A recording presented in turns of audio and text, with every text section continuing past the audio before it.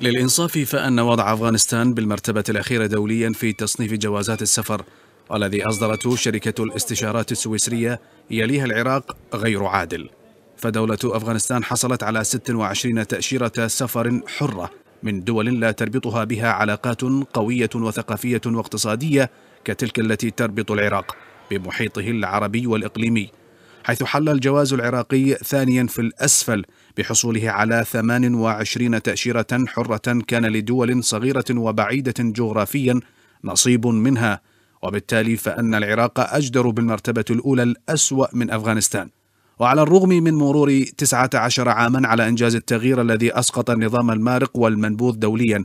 وإسقاط قرارات الأمم المتحدة التي أعقبت حرب الكويت والعقوبات التي كانت مفروضة عليه إلا أن نحو 176 دولة في العالم لا تزال تضع قيودا على سفر العراقيين إليها وتضع شروطا عديدة لمنح الفيزا ومنها ضمانات وتعهدات من مواطنيها الأصليين أو مكتسبي الجنسية العراقيين فيها أو ضمانات مالية وسواها. وأسهمت أحداث ما بعد عام 2003 وتردي الوضع الأمني والاقتصادي واستهداف أي نوع من التواجد الأجنبي على أراضي العراق. وما تسبب به هذا من إحجام مواطني العالم عن المجيء إلى العراق أسهمت في إبقائه رهن اتفاقات تحدد مساحة وحرية ونوعية التنقل والحركة منه وإليه.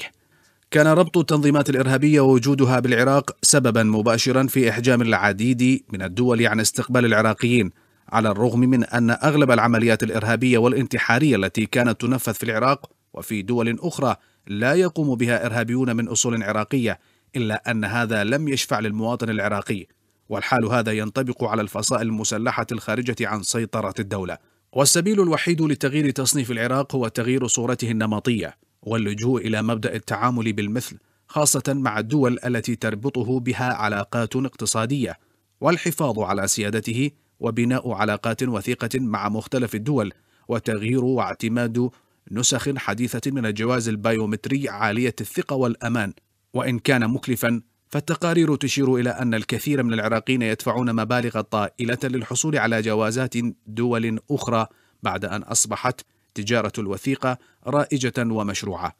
إن جميع ما ذكرناه لا يمكن تحقيقه إلا من خلال حكومة قوية ملبية لطموحات الشعب، تضع مصلحة العراق وأبنائه فوق جميع المصالح، وتبني علاقات متكافئة مع الجميع وتمسح آثار حكومات الفشل والمحاصصة.